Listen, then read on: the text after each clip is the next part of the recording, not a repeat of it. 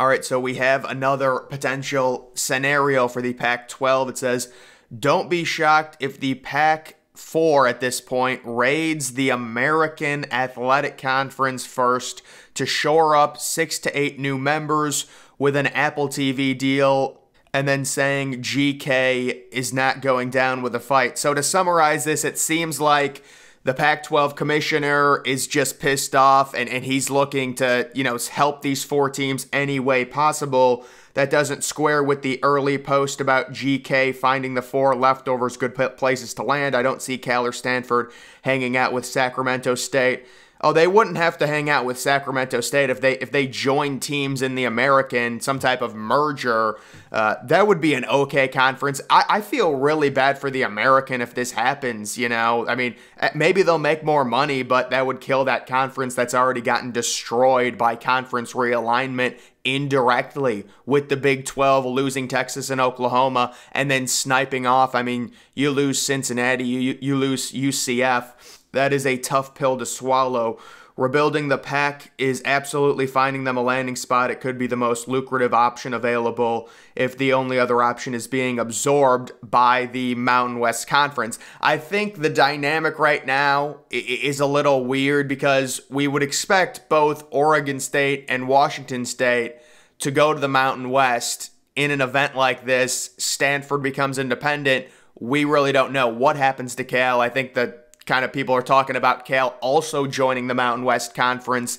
But yeah, maybe this could happen almost inconceivably. The Mountain West may find itself fighting to stay alive as I'm hearing a plan is being hatched to dissolve the conference negotiating buyouts with over half of their schools being lured to revive the Pac. The Pac brand, A5 status, and NCAA credits have still a lot of value, so it seems like whatever's left of this conference is trying to use its value as a former group of five as leverage it's like someone that's about to die, but they're technically they're still alive. That's what it seems like's going on here with whatever. I mean, you don't even know what to call them. The Pac Four. I'm just gonna still call them the Pac 12. Uh, it's very possible a simple merger happens, but I'm hearing Stanford Cal want a streamlined conference devoid of lower tier. If the Mountain West dissolves, then look for the American Conference to get raided of a few of their teams to complete the quote unquote reformed Pac 12. Would they get back up to 12 teams? Would they get to 14? You can see the Pac West here, some speculation going around. This looks like it would just be a merger with the Mountain West, I'm sure. Uh, you know, they would like that. And then this is another potential scenario. It's the four Pac 12 teams. This doesn't really make much sense. It, it, this is like a worse version of the Big Ten. Well, it's the Big Ten, but it's South, and, and it's a merger with the American Conference there. You have to wonder what teams could potentially be involved in this conference. You can't really call it a super conference, but I would assume they would be looking at the four Pac 12 schools possibly the American and the Mountain West. If you take all the best 14 or 16 teams from those three conferences.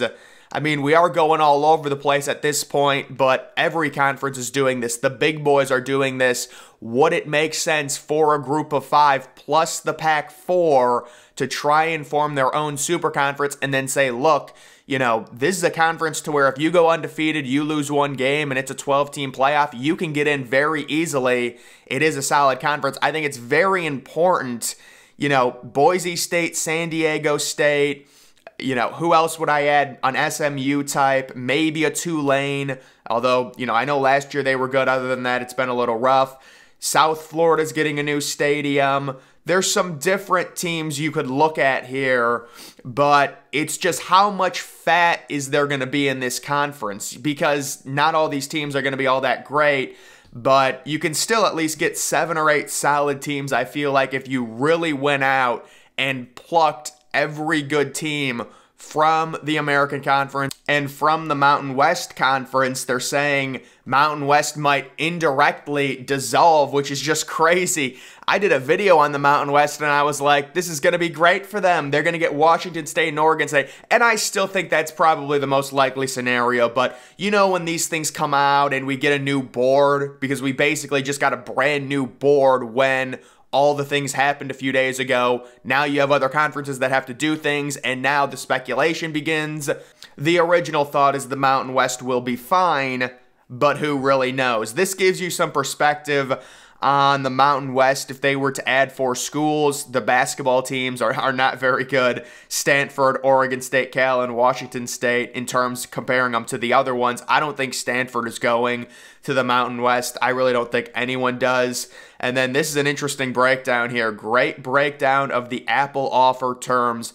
Not as bad as first thought. 25 million base pay. So I had thought it was 20. That's a that's a increase by 5 million at 1.7 million subscribers, Pac 12 would match the 31.7 million the Big 12 is averaging. At 5 million subscribers, Pac 12 schools would receive about 50 million annually. So you can really understand why it was actually hard for these teams to leave because I thought this was a much worse deal. Now, there's also the dynamic of these teams do not want to be on streaming. They do not want to play Saturday football on Apple TV. It is horrible. Even if you want to make the argument they would get to 1 million subscribers, 1.7, they would make more than the Big 12. Arizona, Colorado, why would you leave? You know, you can certainly understand why Oregon and Washington would, but even they're getting a lesser amount at the beginning, the first few years in the Big 10, and then it increases every year after that. But this is just one of those things where it's a combination. It's Apple TV. Maybe if Apple offered them 50 million, you know, they would do it. But at 25 million, it's just really not worth it. You're just going to get a lack of visibility and it's going to hurt your brand overall, according to people familiar with the negotiations between the Pac 12 conference and Apple TV. There was one major reason why the conference members were so reluctant to agree to an incentive laden contract with streaming only network, Apple TV's proposal included a provision that required the Pac 12 schools to cover the cost of broadcasting the games. Not only would the Pac 12 schools make considerably less money, well, I mean, actually, they would not make considerably less if that deal is correct. If you're talking about 25 million plus add ons, plus maybe you getting it slightly higher in terms of exposure if ESPN and Fox wanted to do kind of a deal together. That's actually not the worst deal in terms of money.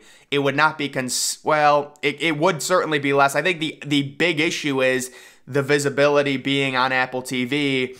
Um, and, and also, you also have to look at this contract and realize what I just read the Apple TV is making these schools cover the cost of broadcasting their games and then the article also speculated on Stanford and Cal. It said Stanford very likely has two options. It's some type of merger. Now, whether that's forming some type of super conference group of five, I think Stanford would be open to that as long as you took the best group of five teams left remaining. I mean, they've kind of already been picked over by the Big 12, but there are still some good ones. They would be open to that.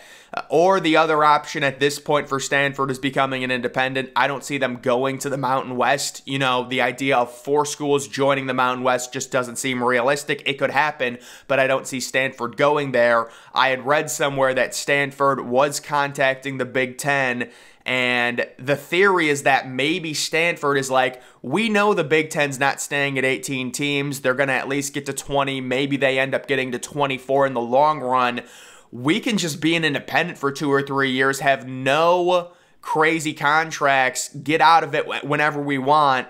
And boom, when the Big Ten is ready, we're ready to join. We've got crazy academics. Yes, our football program is bad right now, but we were good six or seven years ago. We won a Rose Bowl with McCaffrey, David Shaw. That's what they could be saying. They could be saying patience is key. Let's not bind ourselves to a bad conference uh, or, or maybe a lower conference because it would be kind of weird to see Stanford in the Mountain West.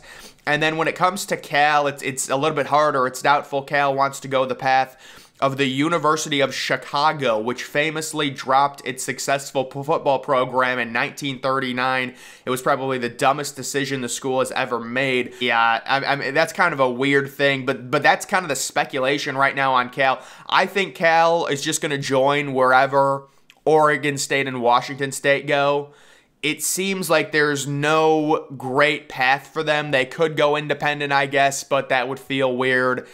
Either way, this is all just speculation at this point. And here's an interesting combination. This also includes UConn. That's a weird logo when they do UConn. It looks like Columbia, but no, that is UConn in the far uh, upper northeast, and, and, that could be a potential super conference. You've got UNLV, you've got Fresno State, who's getting a massive stadium renovation. San Diego State, of course, would be involved. Boy, San Diego State is very lucky that they were able to get back into the Mountain West. They tried joining the Pac 12, but they would have had to pay $17 million. They tried joining a conference that doesn't exist anymore at this point. I wonder what would have happened if they would have joined. Could you imagine that? Colorado State, UTSA, SMU, Rice, Tulane, South Florida, so you get some Florida action. They're getting a new stadium. Memphis, Temple. Boy, Temple, they, they used a weird logo for Temple. That's like a, looks like an Ivy League school, but Either way, it's an interesting thought. It's the idea of saying, all right, we at least at this point, when we look at the group of five landscape, there's four former Power Five teams with, you know, Stanford and Cal being very good academically.